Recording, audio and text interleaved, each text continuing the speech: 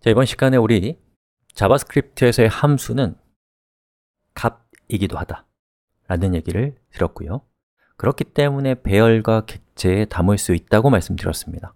그런데 이 값으로서 그 함수를 배열에 담는 경우는 많지는 않아요. 별로 쓸모가 크게 많지 않거든요.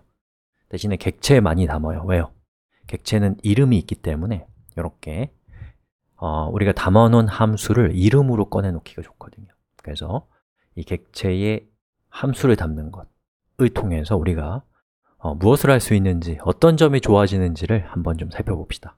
얘기가 난해해요. 하지만 이해 못한다고 앞으로 우리 진도 못 나가는 거 아니니까 걱정 마세요. 자, object 3.js라는 파일을 만들었습니다.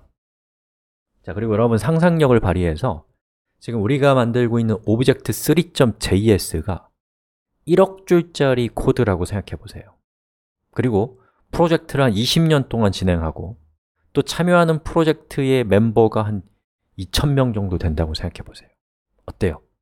멋진 상황인가요? 아니에요 이런 거 우리가 지옥이라고 불러요 예, 누구는 일하다가 그만두고 또 누구는 또 새로 신입으로 들어오고 예, 이런 경우들이 생기면서 공, 일어날 수 있는 모든 문제가 일어나요. 자, 봅시다. 자, 그래서 이제 1억 줄의 1억 줄의 코드 중에 수많은 변수가 있을 건데 그 중에 하나. Var, v1이라는 변수가 있는데 이런 값을 담고 있어요. 아무런 실용성이 없어요. 저는 이 수업에서 여러분들한테 형식, 컨셉을 알려드리는 거기 때문에 실용성을 철저히 배제할 겁니다. 상상력으로 실용적인 것이다 라고 믿으시면 됩니다. 자, 그 다음에 이제 v2는 v2. 이렇게. 즉 두 개의 변수가 있어요. 근데 그 수많은 변수들이 예를 들어서 1억 개가 있다. 그러면 5만 가지 문제가 생길 거예요. 어떤 문제가 있을까요? 이 두 가지가 서로 묶여 있지 않기 때문에 이 가운데에 예, 뭐 한 만 개 정도의 10만인가요? 코드가 이렇게 끼어들 수도 있단 말이죠. 그리고 그 코드 안에 예를 들면 v1이 v1이 어, 이렇게 이런 코드를 어떤 다른 사람이 낑겨 넣으면 어떤 문제가 생겨요? 이제부터 v1은 v1이라는 문자가 아니라 egoing이라는 값을 갖게 되는 엉뚱한 상황이 발생되고 예, 이건 이제 버그로 이루어지는 거죠. 이어지는 거죠. 코드가 많으면 버그 찾기가 기하급수적으로 어려워집니다. 자, 바로 이러한 상황에서 우리를 구원해 줄 수 있는 도구가 바로 객체죠. 자, 그럼 여러분은 VARO라고 하는 객체를 만들어서 V1은 V1, V2는 V2 이런 식으로 서로 연관된 값들을 하나의 객체 안에 정리정돈해서 넣어둘 수 있게 됩니다. 이건 마치 하나의 하드디스크에다가 예, 1억 개의 파일을 몰아넣은 상황이었던 것이 폴더라는 기능이 만들어지면서 폴더로 그 파일들을 정리정돈하는 것과 같은 상황입니다. 자, 이 위에 있는 코드는 불필요하니까 지워버리겠습니다. 됐죠? 자, 그 다음에 또 우리가 이제 그 프로그래밍을 하면 저런 데이터만 필요한 것이 아니라 그걸 처리하는 코드가 필요하겠죠. 그래서 여러분이 f1이라는 함수가 있는데 이 함수는 console log를 통해서 O의 v1이라고 하는 코드를 호출하고 있다고 생각해 보세요. 그리고 또 하나의 코드가 있는데 걔는 function f2 라고 하는 함수고 console log로 O의 v2를 처리한다 라고 한번 생각해 보십시오. 그럼 우리는 f1, f2를 통해서 이 함수를 실행할 수 있게 되죠. 노드에게 한번 실행시켜 봅시다. 음, 이렇게 됩니다. 자, 그런데 지금 우리가 짜고 있는 코드는 1억 줄짜리 코드예요. 그리고 어떤 신입 엔지니어가 들어와서 여기 이 1억 개의 코드 안에서 예를 들면 function f1이라고 하는 똑같은 이름의 함수를 정의해서 엉뚱한 용도로 자기가 필요해서 만들었다고 한번 생각해 보세요 그럼 어떤 문제가 생겨요? 우리가 만든 예, 이전에 있었던 f1이라는 함수가 삭제된 거나 다름없는 상황이 생기는 것이죠 이런 경우가 없겠어요 잘 상상해 보세요 그래야지 공감이 되죠 음. 자, 이러한 경우에 우리를 구원해 줄 도구가 바로 객체죠. 자, 객체는, 아니요, JavaScript에서는 함수가 값이다 라고 하는 특성을 이용하면 이 함수를 이 함수가 사용하고 있는 데이터들이 grouping되어 있는 객체의 멤버로서 추가할 수 있겠죠. 이렇게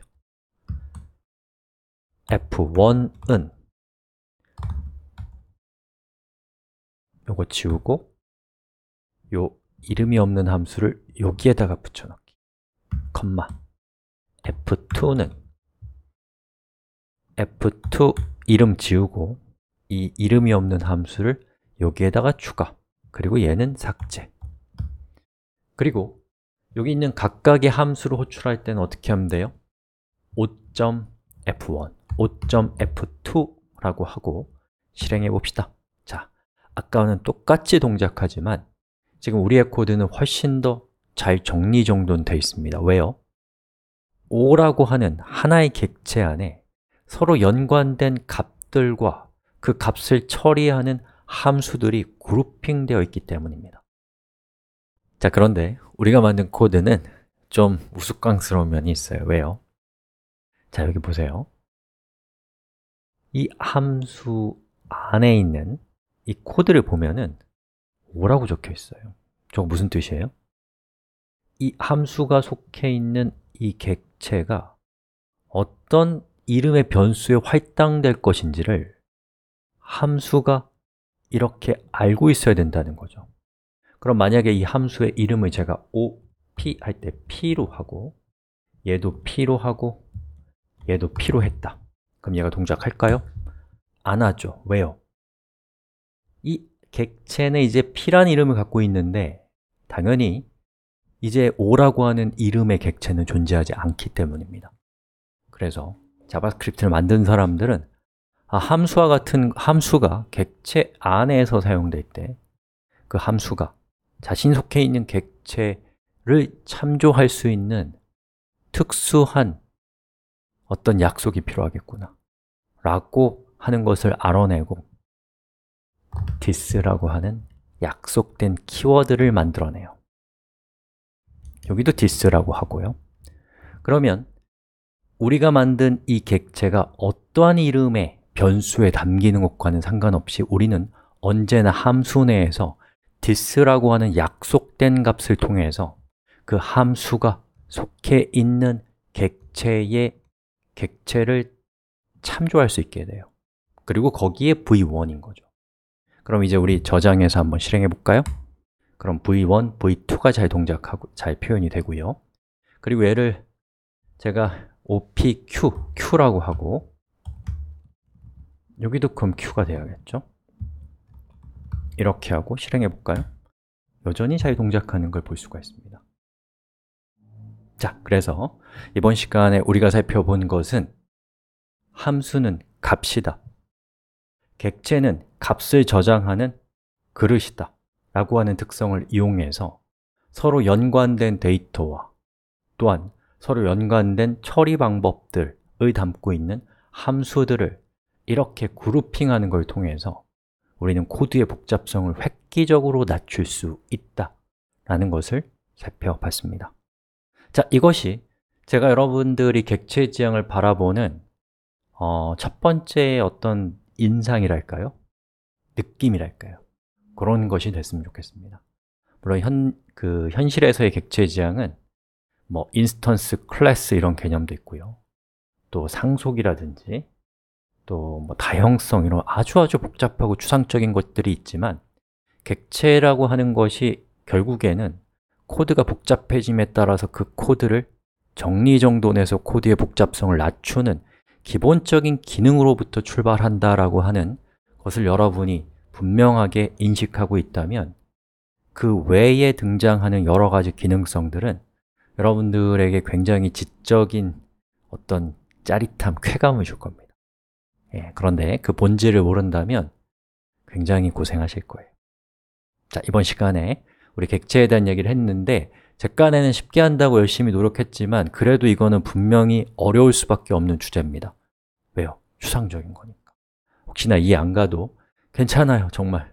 정말 괜찮습니다. 저를 믿고 객체라, 객체 지향을 못한다고 프로그래밍 못하는 거 아니다 라는 마음을 갖고 차차로 익숙해지시면 됩니다. 자, 여기까지 하겠습니다